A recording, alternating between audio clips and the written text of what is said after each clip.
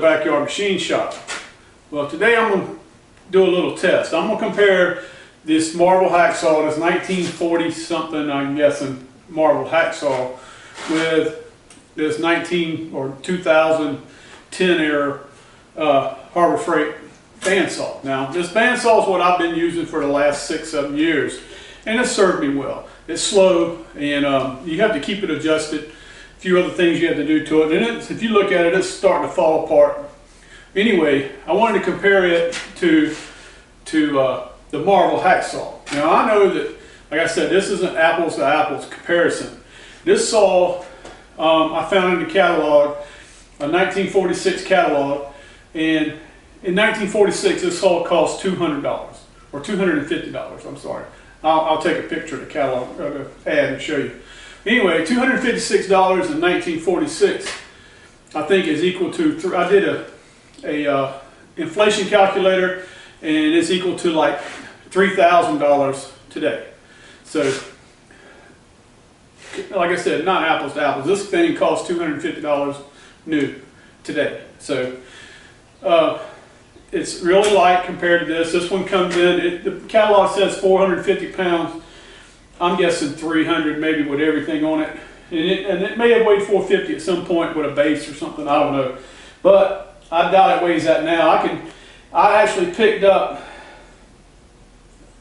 I don't know, may. I, I can pick up the base without the arm, without the motor. And it was all I could do to pick it up and set it on the floor. So it, you know, no vice either. So it may, it may with altogether may weigh 400 pounds, but I, I don't think so. Uh, this saw weighs maybe 100 pounds. I mean, it's, it's quite a comparison, so or quite a difference. Um, so what we're going to do, and here's how we're going to conduct a little test, is I've got four items here. I've got some half inch uh, 304 stainless. I've got some uh, two and a half inch ID um, welded seam pipe. You know, this is I'm trying to do things that we all have around our shop that we might would use. I'm trying to give you a comparison of what it does. And like I said, I'm not trying to race with these two machines. I just want to show you the difference. I've got some uh, an inch and a half or inch and a quarter angle iron, and I got some one by two uh, bar stock. Okay, so again, like my, my intentions are not to say, hey, you know, this thing's so much better than Harbor Freight saw. But what I want to do is I want to show people out there that if you can find one of these saws laying in a field somewhere, you remember where this one came from? It, it was sitting in a field for 30 or 40 years. And I took it and I wire wheeled it, I lubricated it, I replaced a couple things on it, and um, and this is where we're sitting at. And this saw, I bought it brand new. It's got a relatively new blade on it. I think both of them got 10 TPI blades. Um, both of them about the same amount of cut time on them. So we're going to compare them. And what we're going to look for is we're going to look for speed. Second, we're going to look for accuracy. In other words, when you cut it, how square is the cut and how good a finish it has. Now this saw, I've got it set really light. It's going to take a light cut. It can take a lot more cut than what it shows, but I got it set up to make a pretty good finish cut. And the same with in this saw, I've got it completely opposite. I've got all the tension off of it, so it's going to cut as fast as it can cut and, um, and, and we'll see what the difference is. Okay, so let me load up the saw and I'm going to adjust the cameras to where we can get a little better view and um, we'll start cutting. Alright guys, I'm going to show you a little bit of a, a detail of this saw and um, I hope it's going to come out alright. I didn't do that in the last video and I wanted to kind of kind of uh, start out by doing this. Well, to start with, here's the motor I installed. Uh, I think it's a three-quarter horse. I can't remember. It's it's on there somewhere. We can take a picture, maybe see it. But a three-quarter horse where the other one was a half, so we got a little more power. Um, we got the uh, gearbox filled up with oil like it should have been. It runs a lot quieter now. Um, we put some 90 weight gear oil in there. All right, back here in the back, there's a place for oil, and what you do, I need to cut a piece of felt, put it here, but this oils the shaft, and inside the shaft, it's got a it's got a, uh, a position in there. When it comes around, it grabs a little oil and sends it through the shaft. And if I ain't mistaken, it that also lubricates this cam, this eccentric. and because it comes through and leaks out. Okay, uh, up here on the the uh, the um, shaft up here, we have two clamps with two bearings, and we have felt inside here. This is how we lubricate this shaft. So we just keep it full. Okay, we have a a uh, a wedge here, and I'll show this while it's running. This wedge uh, works itself out. As this thing's articulating, it uh, it actually works itself out, and that's what helps lower the uh, the salt.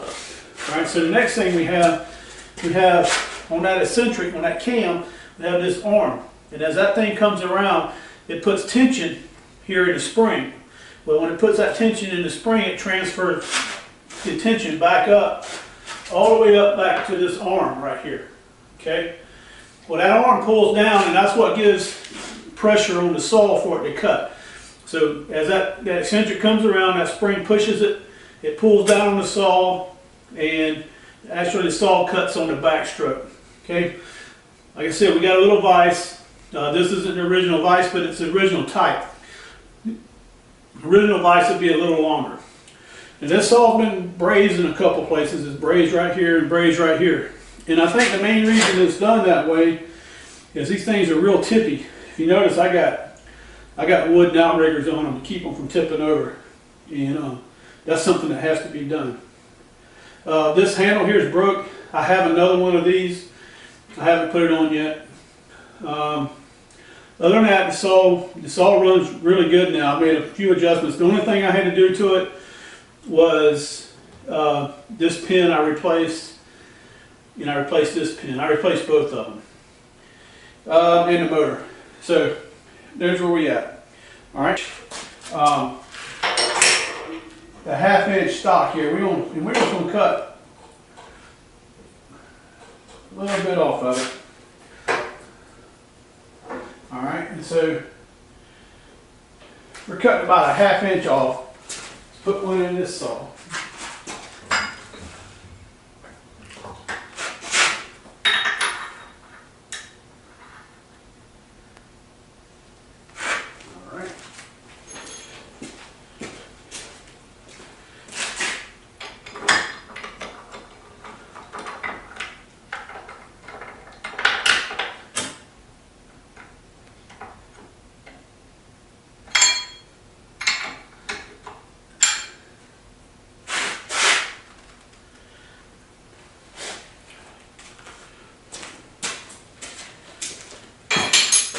First thing we're going to cut, we're going to cut half inch stainless. And uh, really and truly half inch stainless, I would usually just use a hand hacksaw. But we're going to start out with that and see how good and square it cuts. So how I'm going to do this is I'm going to get this saw here started. And um, like I said, I'm not worried about the time so much. Okay. Um, Let's make sure you're both running. All right. And, okay. So, we're going to cut this, no lubrication, and we'll cut this no lubrication. And what I'm going to do is I'm going to start the uh, Marvel saw, and I'll and I'll hold the uh, Harbor Freight saw, and when it when it gets time, when it starts cutting, I'll drop it down on it. All right. So here we go.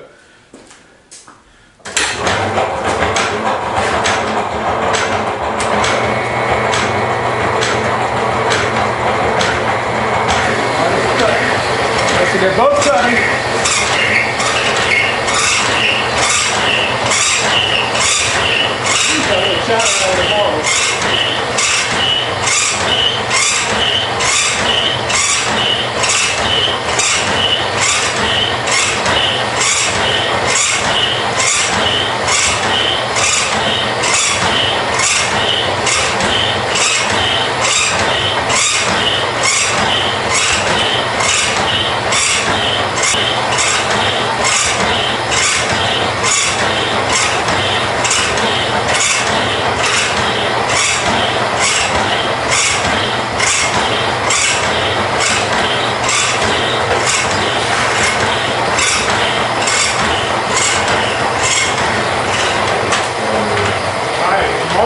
finished.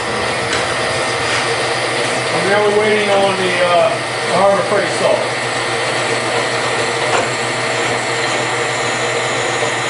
And this should drop and cut itself off too. I, I usually keep the set up to do that. All right. So, got both of them done and uh, maybe 30 seconds longer on the Harbor Freight saw. And that's not too bad, but like I said, normally with half inch material, I'll end up cutting uh, by hand. So I probably could have cut one by hand just as fast as, as they could. All right, guys, so what we got loaded up now is some inch and a half by eighth inch angle. And um, we're gonna see how fast it cuts now. We're gonna compare all these afterwards. So I've got them marked and sitting over there on the bench where we can look at them. Uh, I wasn't impressed with the, the stainless cut. I've seen them cut better, but that cut wasn't that great. So here we go. Same thing. We're gonna start this saw.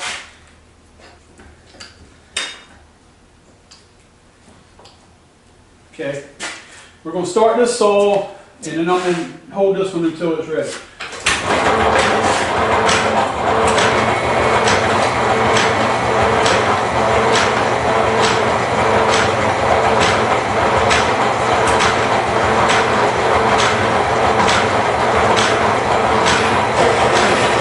Here we go. You Put a little bit of lubricant on it.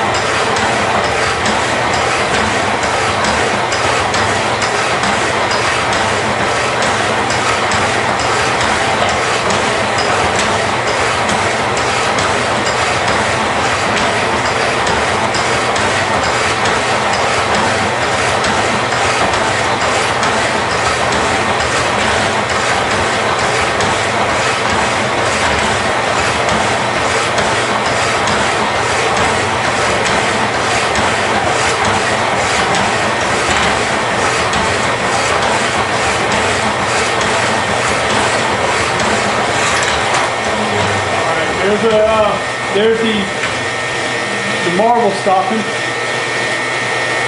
And now we're still cutting on the, uh,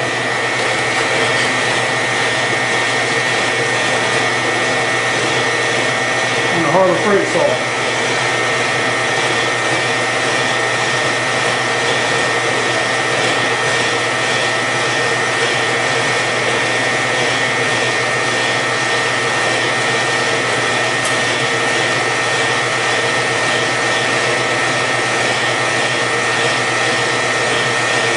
We're still cutting on the Harbor Freight saw.